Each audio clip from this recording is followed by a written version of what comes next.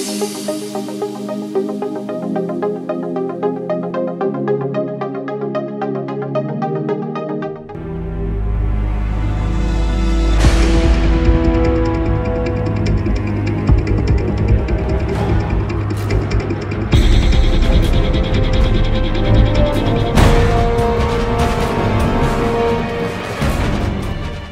good evening everybody. Thank you for coming. If I can have your attention for about five minutes and we can go back to chatting.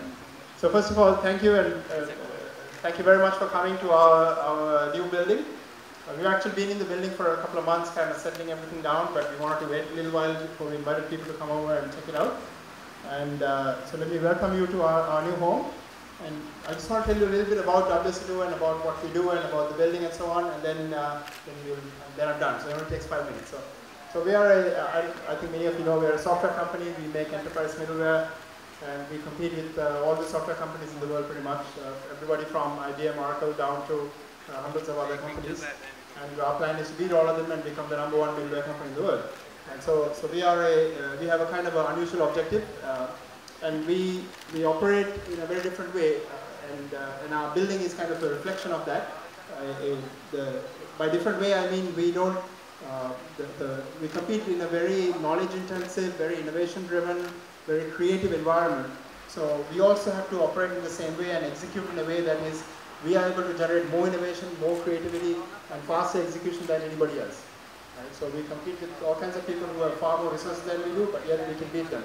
And we beat them by having incredible people who, who drive that forward. So, so some, uh, we've taken a lot of investment, so sometimes investors ask, what's, you know, what, what's the thing I'm investing in? And really it's just the people.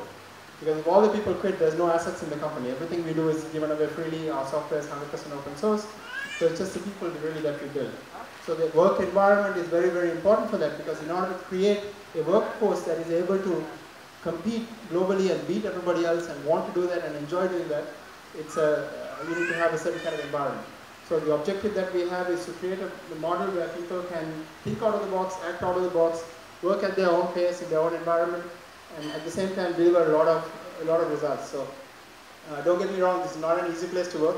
If you work here, you know we work like crazy. We work very very hard, but at the same time we, we play hard. So it's a work hard, play hard kind of model. Uh, I, uh, if you go up to the roof, you'll see we have a basketball court and a gym.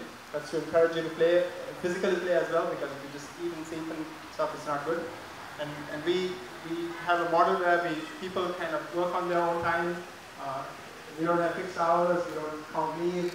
It's, it's, a, it's a model that encourages people to execute at their own way and yet work pretty much, you know, intellectually be committed to what they're doing all the time.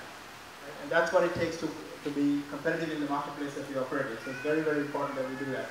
So uh, this building was, was uh, is not ours, it's a rented building. We, we rented it and, the entire interior was done by us to meet what we want to achieve. So if you, are, if you have time, there, there are a bunch of people hanging around wearing this WSO2 Crew badge. They, they, they can give you a tour, uh, starting from the top I think and walking down, will probably the easiest to do it. And they'll kind of tell you a little bit about each floor. Each floor has a different theme that we've done, and each floor has a different uh, color scheme and all kinds of stuff. So designed to uh, to kind of focus on what that flow is about, right? And, and you'll get a sense of what, you know, all the things as you, as you go through the building. And this fish tank uh, uh, is slightly latest. Uh, apologize for the last minute thing, but it's been a long project to get this up and running, and, and it's still not in the final shape yet, but it's getting there.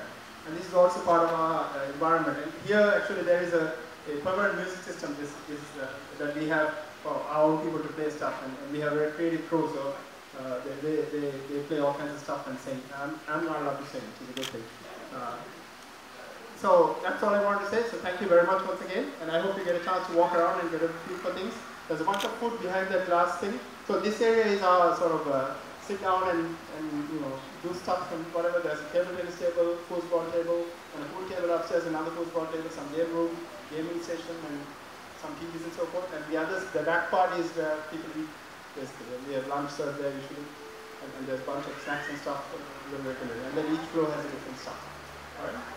So thank you very much for coming once again. I hope you enjoy the evening, and uh, do take a tour and get a feel for the place. Thank you.